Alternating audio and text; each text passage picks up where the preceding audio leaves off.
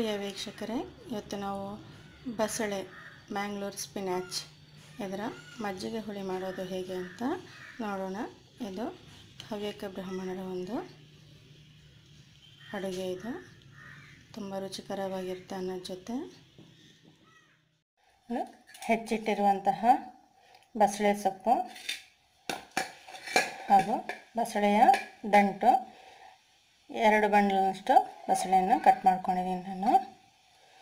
ಇದನ್ನು ಕುಕ್ಕರಿಗೆ ಹಾಕೊಳ್ಳೋಣ.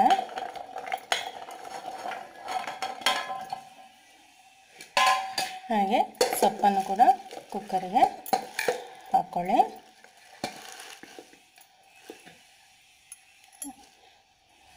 ಸ್ವಲ್ಪ ನೀರು ಹಾಕ್ಕೊಂಡು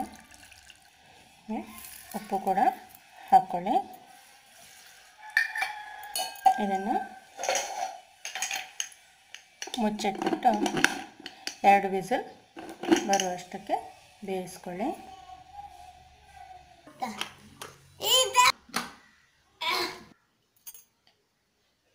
ತೆಂಗಿನಕಾಯಿ ಒಂದು ಮೀಡಿಯಮ್ ಸೈಜದ್ದು ಮೆಣಸು ಸ್ವಲ್ಪ ನೀರು ಹಾಕ್ಕೊಂಡು ಚೆನ್ನಾಗಿ ರುಬ್ಕೊಳ್ಳಿ.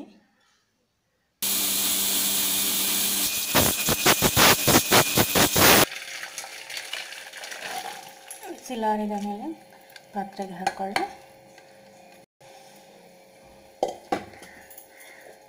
ರುಬ್ಬಿದ ತೆಂಗಿನಕಾಯಿ ಮಿಶ್ರಣವನ್ನು ಹಾಕ್ಕೊಳ್ಳಿ.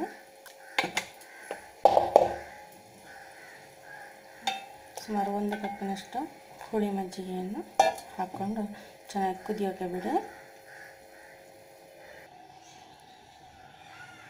ಕುದೀತಿದೆ ಈಗ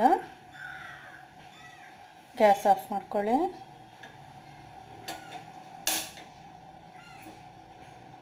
ಸಾಸಿವೆ ಕಾಳು ಹಾಗೂ ಮೆಂತೆ ಬ್ಯಾಡಿಗೆ ಮೆಣಸಿನ ಒಗ್ಗರಣೆಯನ್ನು ಹಾಕಿ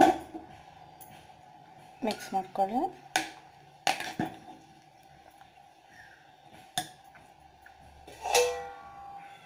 ಮುಚ್ಚಿಟ್ಬಿಡಿ ಅನ್ನದ ಜೊತೆ ಸರ್ವ್ ಮಾಡಿ.